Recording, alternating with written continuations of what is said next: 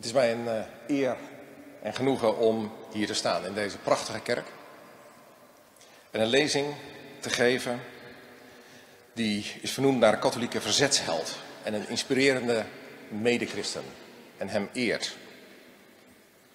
En dapper dat de organisatie het risico heeft aangedurfd om een protestant uit te nodigen.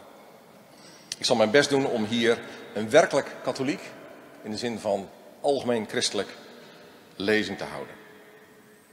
Het is voor mij hoe dan ook een katholieke week. Op maandag zat ik met vertegenwoordigers van katholieke maatschappelijke organisaties om de tafel. Om te spreken over de christelijke presentie in Nederland. En we concludeerden dat we elkaar veel te geven hebben. En veel van elkaar kunnen ontvangen. In een gedeeld verlangen om vanuit onze diepste overtuiging en inspiratie onze samenleving te dienen. Woensdag werd het nog persoonlijker. Toen een katholieke vriend van mij mij opzocht en wij elkaar ontmoetten. Hij staat op een kruispunt in zijn leven, denkt na over zijn roeping. We hebben voor elkaar gebeden. En aan het eind zegende hij me met een kruis op mijn voorhoofd. Dat is een ontmoeting die mij ontroert. Het was het dorp van mijn ouders, waarin protestant en katholiek in volstrekt gescheiden werelden langs elkaar heen leefden en tegenover elkaar stonden. Het was de straat van mijn vader en van kardinaal, de latere kardinaal Simonis, waarin zij als twee jongetjes niet met elkaar mochten spelen, omdat zij van die andere kerk waren. En dit is een week waarin ik katholieke voorlieden ontmoet, waarin ik gezegend word door een katholieke vriend en waarin ik de Titus Brandsma lezing mag houden. Toen Titus Brandsma in de oorlog vanuit kamp Amersfoort onderweg was naar Dachau, de plek waar hij zou sterven, zat hij vastgeketend, vastgeketend aan zijn vriend, de jonge protestantse dominee Johannes Kaptein. En ze waren niet alleen aan elkaar verbonden door middel van fysieke ketens, maar bovenal met vriendschap en een gedeeld geloof, gedeelde hoop en gedeelde liefde. En in hun voetsporen ontmoeten wij elkaar vandaag. De vraag die ik in deze lezing wil beantwoorden is: hoe kunnen wij in deze tijd, in dit land, werkelijk samenleven? Hoe kan onze verweesde, soms ontheemde en vaak verdeelde samenleving weer een veilig thuis worden? Voor iedereen. Juist ook voor mensen met heimwee naar huis. Onze economie groeit. Er is meer werk dan ooit. Onze zorg en ons onderwijs zijn van een hoog niveau. We zijn nog nooit zo welvarend geweest. De criminaliteitscijfers dalen al een tijd. En het is lang geleden dat we op ons continent zo'n lange tijd hebben gehad van vrede. En toch. Toch is er een somberheid die met geen economisch groeicijfer te verjagen is. Er is een gebrek aan hoop die met geen loonsverhoging valt op te lossen. En er is zo'n wantrouwen in bestuurders, in politici, dus ook in mij, dat de verleiding om helemaal maar niet te gaan stemmen of op extreme uiteinden te gaan stemmen steeds groter wordt. Er is een zorg over onze samenleving en een heimwee naar vervlogen tijden die aan ons allemaal vreet. En mijn persoonlijke overtuiging is dat de christelijke traditie, waarin Titus Brandsma zo'n indrukwekkende plek heeft gekregen, ons helpt om hoopgevende antwoorden te geven op de diepe vragen van onze tijd. Ik hoop dan ook zeer dat wij, geketend aan elkaar, nieuwe inspiratie opdoen, nieuwe moed opvatten. Om als kinderen van onze tijd te doen wat we kunnen en te doen wat we moeten doen. Titus Brandsma was een sociaal bewogen mens. Hij was niet alleen begaan met de mensheid, maar ook met die ene, ene mens die voor hem stond. Hij ging door weer en wind naar een werkgever om te pleiten voor een baan voor die ene man die maar niet aan de bak kwam. In de periode van bittere armoede tijdens de crisis in de jaren 30 was Brandsma volgens zijn biograaf de enige priester die werd gezien voor de loketten op het gemeentelijk bureau voor maatschappelijk hulpbetoon. Hij kon eindeloos geduldig luisteren naar die ene breedsprakige, enigszins verwarde vrouw, omdat, zoals hij zei, hij misschien de enige was die ze had en naar haar luisterde. En toen het nationaal socialisme opkwam, hebben velen gezwegen. Soms uit onwetendheid, soms uit angst. Maar Titus Brandsma was een van de mensen die niet zweeg, wiens stem helder klonk. Al in 1934 hield hij een lezing voor studenten waarin hij waarschuwde tegen het nationaal socialisme. In 1935 bracht hij een tekst uit waarmee hij zich uitsprak tegen de vervolging van Joden in Duitsland. En ook in zijn colleges sprak hij zich uit tegen de nationaal-socialistische leer. Ook toen de Duitse bezetting een feit was, zweeg hij niet. Het was een man met een kwetsbare gezondheid, maar zijn stem klonk des te krachtiger. Ook toen dat levensgevaarlijk werd.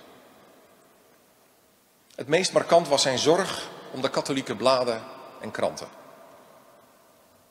Hij schreef alle kranten een brief waarin hij uitsprak dat het plaatsen van NSB-advertenties haak staat op hun katholieke identiteit. Brandsma reisde stad en land af om deze brief persoonlijk te overhandigen en toe te lichten. Een levensgevaarlijke reis. Deze reis is verraden. En de reactie van de Gestapo liet niet lang op zich wachten. Hij werd afgevoerd naar Scheveningen, kamp Amersfoort, naar Dachau. En deze moed maakt diepe indruk op mij. We kunnen ons allemaal voornemen om moedig te zijn. Maar je weet pas of iemand ook echt het echt is als het erop aankomt. En Titus Brandsma was moedig toen het erop aankwam. Deze moed vond hij vanuit een diepe geloofsovertuiging en de verbondenheid die hij daarmee voelde voor zijn naaste. En uiteindelijk heeft hij de hoogste prijs betaald. Ik kom op zijn visie voor mens, samenleving, de verbinding met elkaar. Kunnen we iets met de inspiratie van Titus Brandsma? Kunnen we op het spoor komen van lessen voor ons samenleven hier en nu? Titus Brandsma was een mystiek mens, een karmeliet met een diepe spiritualiteit. Zijn geloof in God was bepalend, maar dat leidde niet tot een zweverig bestaan. Citaat uit zijn Diesrede laat dat zien. Als het gaat over de betekenis van zijn geloof, dan zegt hij: Op de eerste plaats haalt het de mens uit zijn isolement en doet het hem zichzelf zien in betrekking van afhankelijkheid. Niet slechts verbindt het de mens met God, maar in en door en met God ziet de mens zich verenigd en in betrekking met alle andere mensen. Hier is een gemeenschap gefundeerd op de innigste vereniging van God, met al wat bestaat. De erkenning van de onderlinge afhankelijkheid zal een der eerste voorwaarden zijn, moeten zijn voor het herstel der verbroken orde. Tot zover het citaat. Als ik die woorden van Brandsma goed lees en tot me door laat dringen, dan gaat voor hem het besef van God direct gepaard met een verbondenheid met elkaar. En die verbondenheid is wezenlijk voor de mens. We zijn afhankelijk van elkaar. We worden mens in relatie tot elkaar. En voor Brandsma was dit niet een vrome theorie. Het besef dat een mens leeft in relatie en dat je verantwoordelijk bent voor de medemens, leidde tot de keuzes die hij maakte. Om zich niet terug te trekken in vroomheid, maar zich in te zetten voor de naaste, die in armoede leefde. Het leidde tot de keuze om tijdens de bezetting niet te zwijgen, maar zich uit te spreken En dat is indrukwekkend. Maar zijn beeld van de mens, die leeft in relatie, raakt me ook als hij schrijft dat het gebrek aan verbondenheid een tekort is. Want het alleenstaan, het individualisme, het ieder voor zich, is ook vandaag in Nederland een weg die we zijn ingeslagen.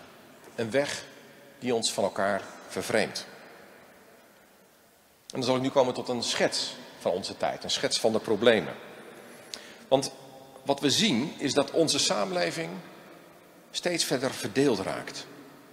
Dat de onderlinge verschillen tussen ons steeds hardnekkiger worden. En dat de zorgen over onze omgangsvormen toenemen. Het Sociaal Cultureel Planbureau constateert dat we steeds meer van elkaar verschillen.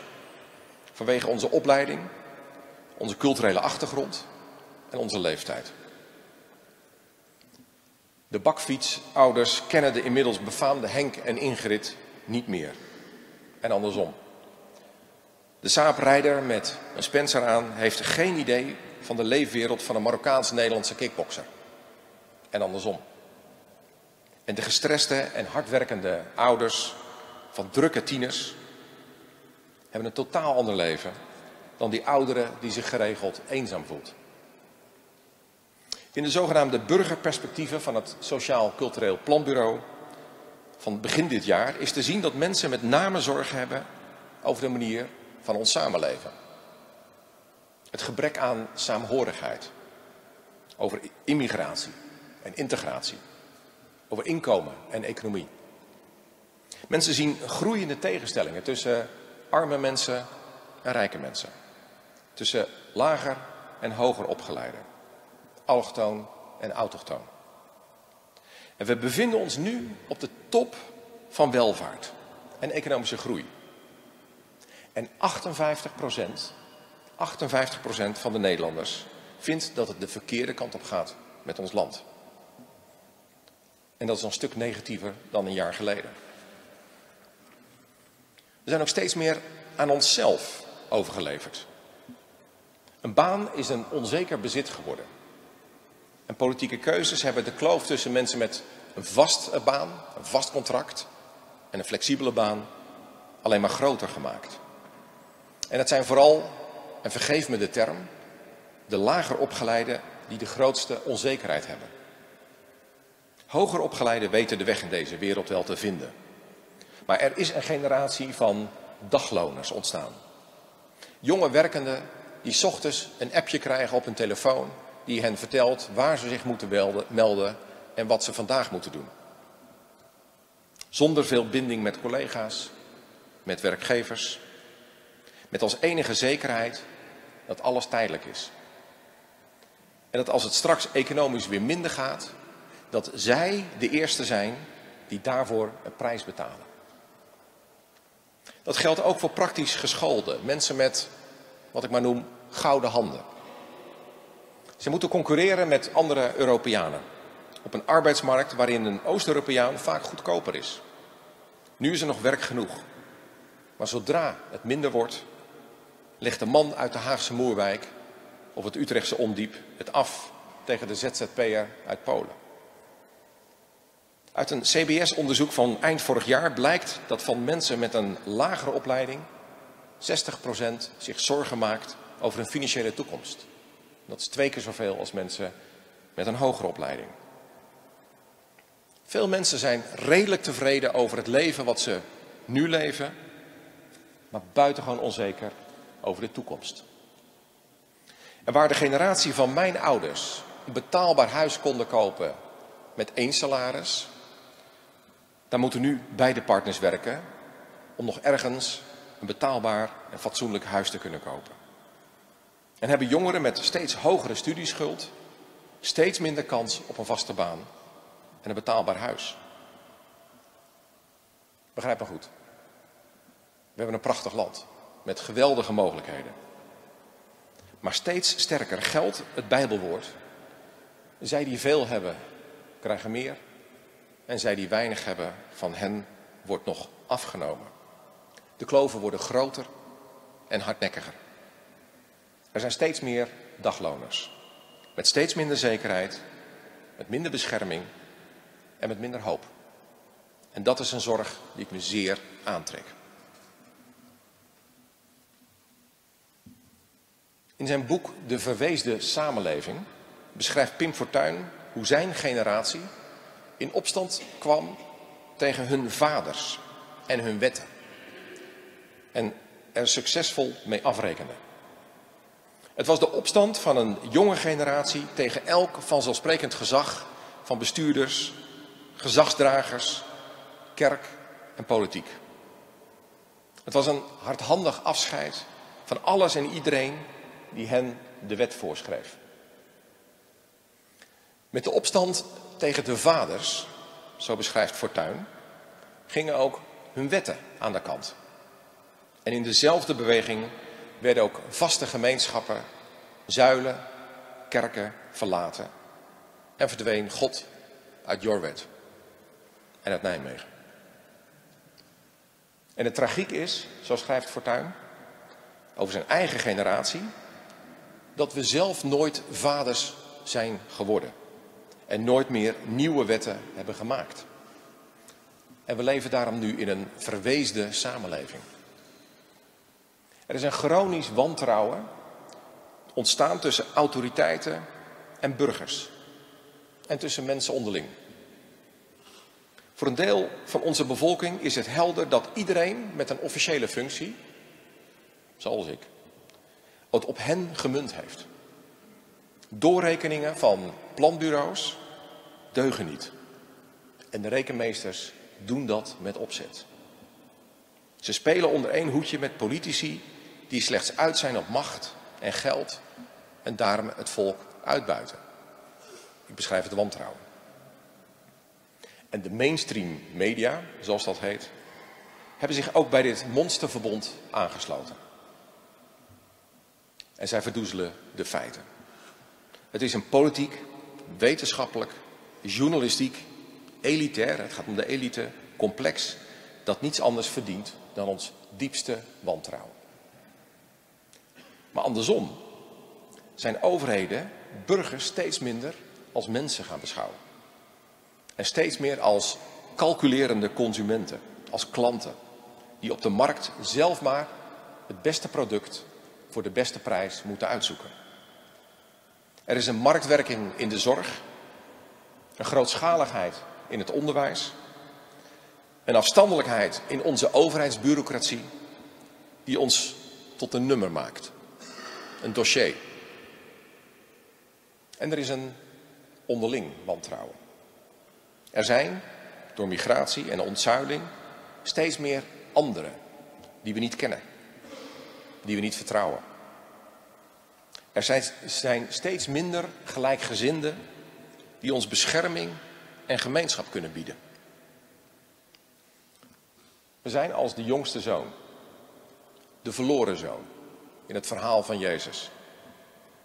Een jongen die leeft in overvloed en met zijn broer opvolger zal worden van het bloeiende boerenbedrijf van zijn vader. Maar dan opeens zijn erfenis opeist en afscheid neemt van zijn vader en de wijde wereld intrekt. Alleen bleek het voor de jongste zoon in de wijde wereld alleen maar leuk zolang hij geld had. Toen hij de erfenis er doorheen had gejaagd, eindigde hij bij de varkens. Met honger in zijn maag en met heimwee naar huis. En daar zitten we dan. Bij de varkens. Zonder vader, zonder wetten. Zonder ook maar iemand die ons ziet, naar ons omkijkt, die ons hoort, die voor ons opkomt. Niemand die ons meer de weg naar huis kan wijzen. En als je zo op die plek zit, kun je ziek worden van heimwee. Heimwee naar huis, heimwee naar een vader. En dat heimwee kan zomaar omslaan in een verlangen naar een sterke, sterke leider, een sterke man, een vader, een vaderfiguur. En je ziet het in deze wereld om je heen gebeuren. Bij Erdogan, Poetin, Bolsonaro, Trump. Feilbare mannen die zich voordoen als een vader, die een terugkeer naar huis beloven. De veiligheid van een sterke natie. De terugkeer van grootse tijden die er nooit zijn geweest. En onderdanen die snakken naar een vader die ze even aan de borst drukt. Zelfs in onze lage landen zie je links en rechts politici die ons verlossing beloven. Herstel van tijden van weleer. Een terugkeer naar het verloren paradijs. Met uiteraard het koningschap van die ene politicus als voorwaarde daarvoor. Een cultuur die heeft afgerekend met zijn vaders en hun wetten. Het land dat zijn koningen, dat zijn vaders heeft verjaagd, snakt naar een nieuwe vader. Om de beurt wordt een politicus op het schild geheven. Door mensen die zich hoopvol afvragen: zou hij ons dan verlossen? Zou zij ons dan verlossen? Om een vroege of laat weer af te vallen. En dan dient de nieuwe verlosser zich wel weer aan. Ook de overheid kan zich voordoen als een vader. Een vader die je tegen elk risico beschermt. Die je gelukkig moet maken. Die je dwingt om liberaal te zijn. Vrij te zijn. Die je een thuis biedt. En vreemde mensen buiten houdt. Maar een overheid is geen vader. Kan je nooit bieden waar je hart ten diepste naar verlangt. Een overheid is hooguit een conciërge. Conciërge van een gebouw waar we allemaal ons appartement hebben. Een huismeester die ervoor zorgt dat alles goed in de verf zit. Dat de rotzooi in de gang wordt opgeruimd. Bij wie je met je praktische vragen terecht kunt. En die jou aanspreekt op je verantwoordelijkheid voor de gemeenschappelijke ruimte. En die met een WD-40-busje, ik weet niet of u dat kent, maar de scharnieren van de deuren, deuren soepel laat lopen. Een cruciale functie. Met een persoonlijke, menselijke maat. Maar geen vader die je troost, die je hoop biedt. De overheid en die ene charismatische politicus op links of op rechts kan en zal die vader nooit zijn. In de tijd dat Titus Brandsma leefde, zochten mensen ook zekerheid. En hij werd door een groep katholieke studenten in 1934 uitgenodigd om te spreken over heldhaftigheid en de roep om de sterke man. En Brandsma waarschuwde ervoor dat mensen zich niet mee moeten laten slepen door imponerende figuren, maar moedigde aan om de idealen waar ze voor staan kritisch te wegen.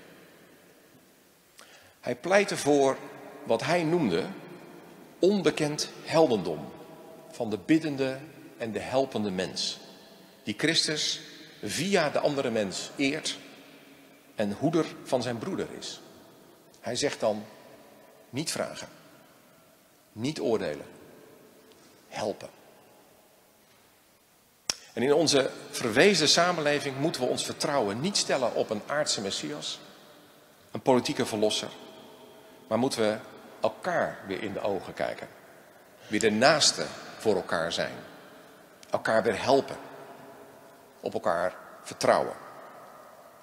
Op God vertrouwen.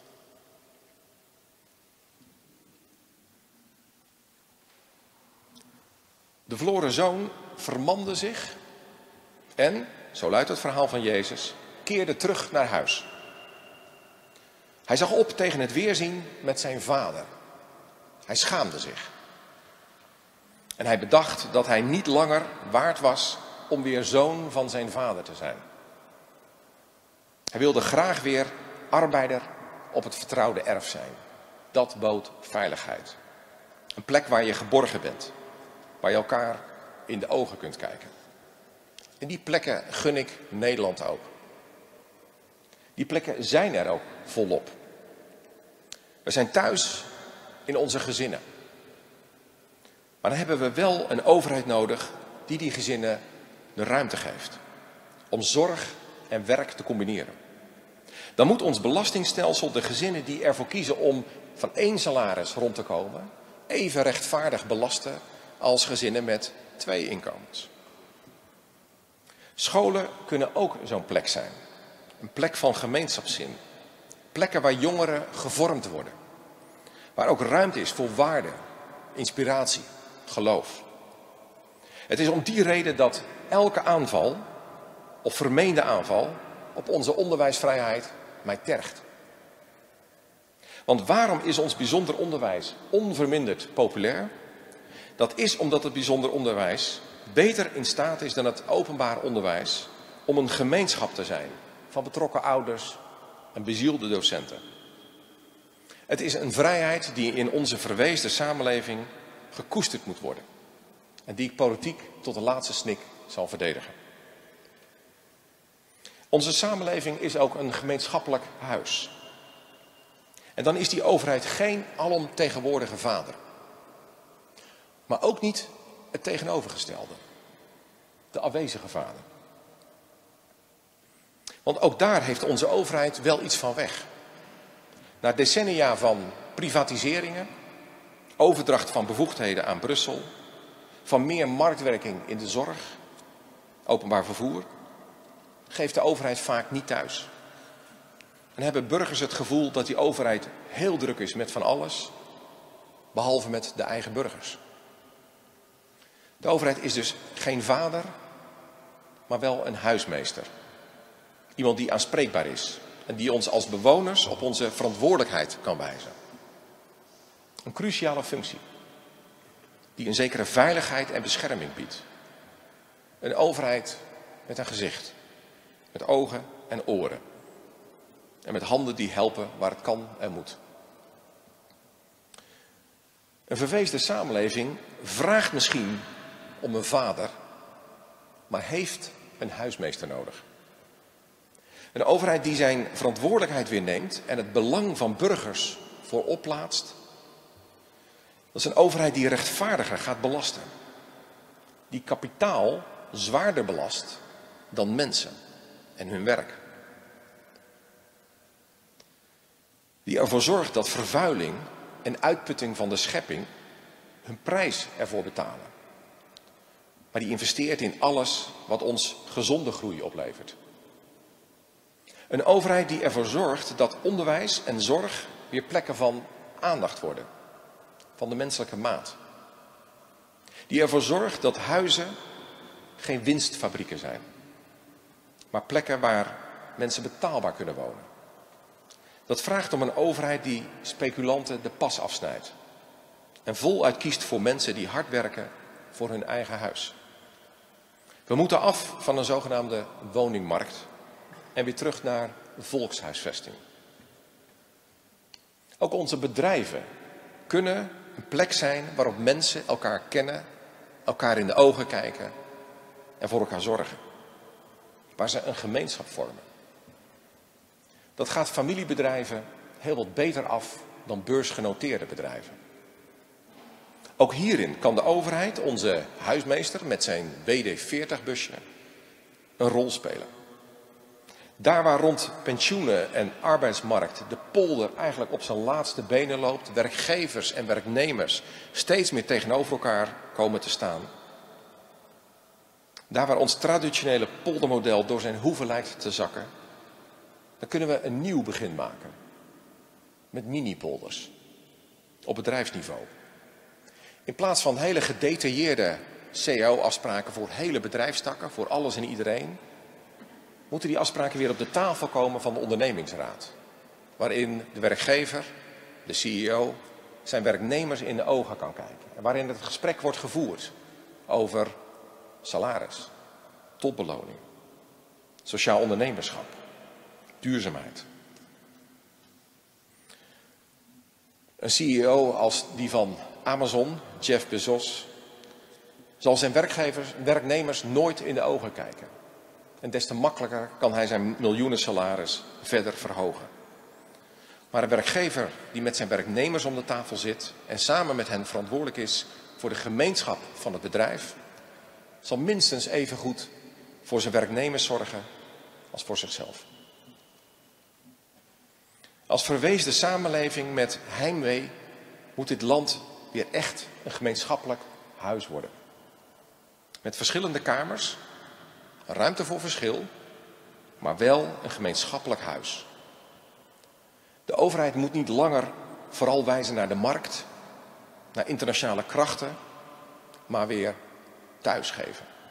Voor dat huis zorgen. Een plek waar mensen bescherming vinden. Waar ze elkaar vinden. Waar je weet welke normen gelden. Waar je vrij kunt zijn. En waar je verantwoordelijkheid kunt dragen. Dat vraagt ook, en dat is mijn laatste voorbeeld, ook om een nieuwe doordenking van migratie.